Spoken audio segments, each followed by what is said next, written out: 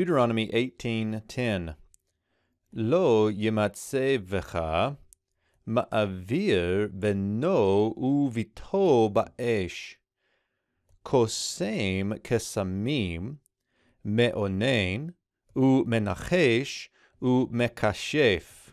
We've got some interesting words here that uh, come toward the end, but let's do the easy ones at the front first. We've got uh, low negation here plus the nifal imperfect, third masculine singular, with that yod preformative. Notice the ya vowel pattern here, giving us that nifal.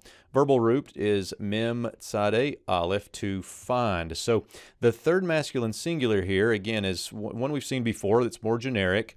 There shall not be found. There shall not be found. There's that passive nifal, or it, we might say, is that third person.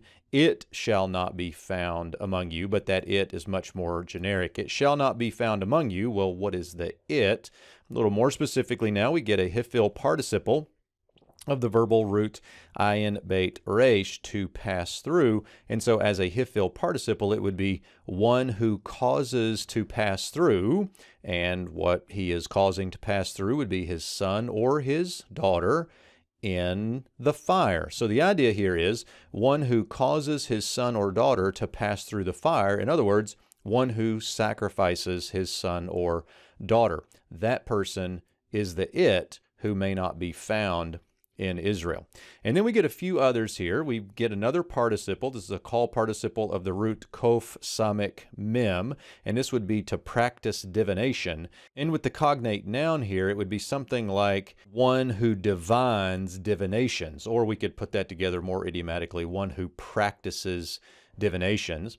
Next, we get a, a polel. This is a polel participle now. The verbal root is ayin noon noon, so it's a geminate. That's why we get polel. It's functioning a lot like a piel here, but we have a polel.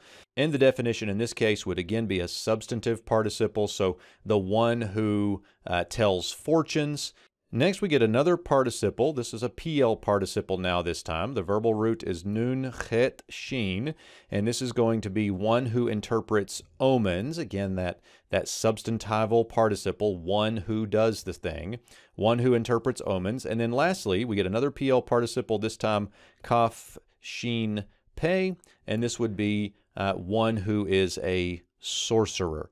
Uh, and so all of these together would be the collective it that shall not be found in you in Israel.